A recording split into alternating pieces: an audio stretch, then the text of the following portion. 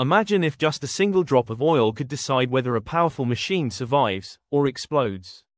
Today, we're testing something crazy. How much power can one tiny drop of oil actually handle before everything breaks down? Most people look at machines, engines, motors, heavy tools, and think the big metal parts do all the work. But the truth is, sometimes everything depends on something so small, you don't even notice it. This test begins with a metal shaft spinning at high speed.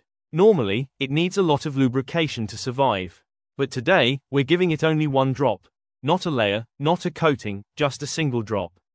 At first, the moment that oil touches the metal, you can literally hear the sound change.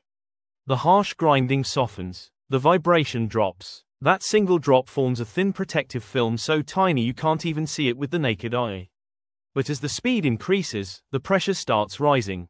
The shaft gets hotter, the metal begins pushing harder and harder against that microscopic oil layer.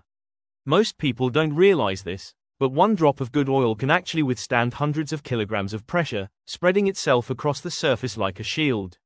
Then comes the real test, when we crank the power even more. The temperature jumps, the film starts to break. You can hear the squeal as the metal scratches through. Sparks almost begin to show. And right at the edge of failure, the drop finally collapses. The metal grinds, overheats, and the entire system shakes violently. So how much power can one drop really handle? Enough to protect moving metal for a short time, but not enough to survive high-speed torture. It shows one thing clearly, in machines, just like in life, even the smallest things matter more than we think. If you enjoyed this test, make sure to watch the full video, like, share, comment, and support this channel so I can bring you even more crazy experiments.